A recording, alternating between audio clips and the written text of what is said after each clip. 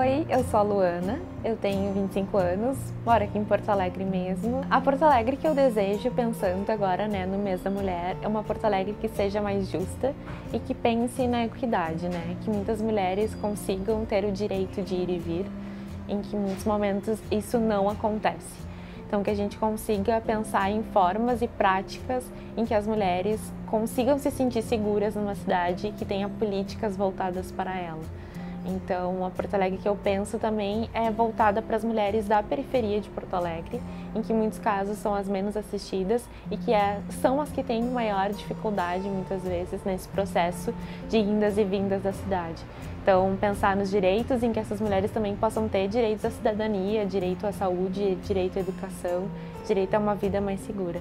Então, essa é a Porto Alegre que eu desejo.